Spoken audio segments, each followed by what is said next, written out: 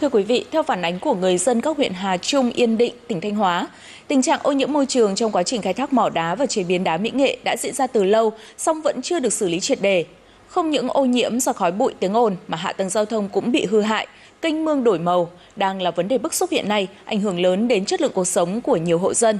Phản ánh sau đây của phóng viên thời sự. Tuyến đường liên xã Hà Tân, Hà Bình của huyện Hà Trung được người dân ở đây gọi là con đường khốn khổ. Do xã Hà Tân có 15 mỏ đá hoạt động nên mỗi ngày hàng trăm xe tải lớn chở đá nối đuôi nhau cây nát mặt đường. Bao năm qua, người dân ở đây luôn bị ám ảnh bởi tiếng ồn, khói bụi tra tấn, rất ô nhiễm. Bao nhiêu là cái xe như này nối đuôi nhau đi, đó bụi đó một cái đi là như thế này cho hàng chục cái đi ô nhiễm nói chung là quá chi là khổ sở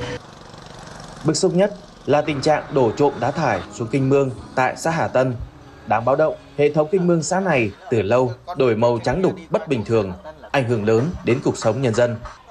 Cái nước đây là nước thải à, nước thải của các cái à, máy xẻ đá của các làng nghề. Ngày xưa thì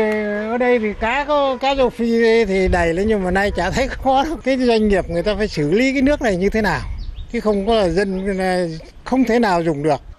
quan sát bằng mắt thường có thể cho thấy rằng uh, hệ thống mương này đã bị đổi màu trắng đục khi có làng nghề uh, đá uh, tại đây và để khiến cho người dân không thể uh, sử dụng nước để sản xuất.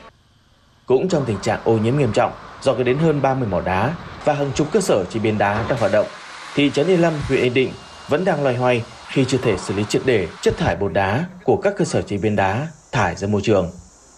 Đối với lại một số các cái đơn vị mà các cái bột à, đa thải đang còn à, để thải ra môi trường đấy, thì cái này thì cũng đang à, tích cực để để có cái hướng dẫn chỉ đạo cho các cái đơn vị là có cái tận thu để đối với các cái bột đá sau khi mà chúng ta chế biến tránh ảnh hưởng đến cái môi trường của khu làng nghề. Này thì các đơn vị cũng đang cơ bản chấp hành từng bước để khắc phục cái vấn đề ô nhiễm môi trường để đảm bảo vấn đề ô nhiễm môi trường trên địa bàn. Ờ, thời gian tới thì huyện cũng đang tiếp tục là tăng cường cái kiểm tra giám sát và thứ hai cũng xây dựng kế hoạch đi kiểm tra các xã có vấn đề ô nhiễm môi trường được phản ánh. Hiện nay, hạ tầng cụm công nghiệp trên địa bàn tỉnh Thanh Hóa chưa được đầu tư đồng bộ, còn nhiều đơn vị vi phạm trong khai thác đá. Tình trạng ô nhiễm do khói bụi, tiếng ồn vẫn chưa xử lý triệt đề. Những hệ lụy từ hoạt động khai thác, chế biến khoáng sản gây ra đang là bài toán khó, thách thức đối với chính quyền địa phương